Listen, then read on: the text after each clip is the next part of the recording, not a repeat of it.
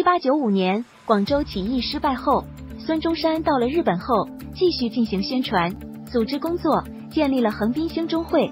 他断发改装，以示同清政府的决裂。从此，他开展了职业革命家的长期流亡生活。他决定继续观察、思索、散播革命的火种。夏威夷是行程的第一站。他向侨胞报告了广州起义的经过，并组织兴中会会员参加兵操。只是初次的挫败，使得各种活动进行迟缓。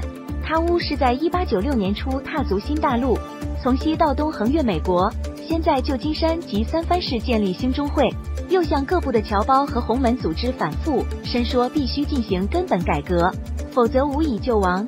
流亡生活异常艰苦。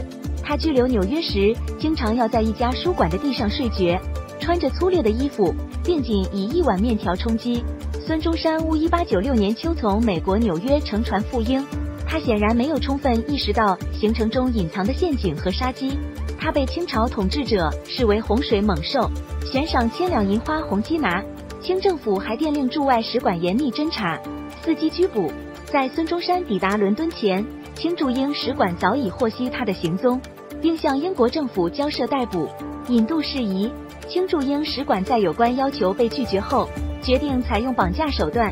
十月十一日，抵达伦敦十天的孙中山，在从旅社前往老师康德黎 J. c a n t y 寓所的途中，被预伏在清使馆附近的工作人员强行挟持，囚屋使馆楼上的密室。孙中山面临着死亡的威胁，因为清政府电令清使管顾船，将他偷运回国。他的遭遇得到使馆的英籍佣工同情。赫维浩和科尔 G.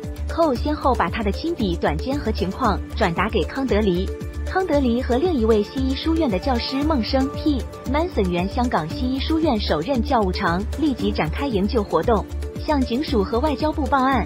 通过报章揭露这种卑劣行径，雇请侦探监视清使馆。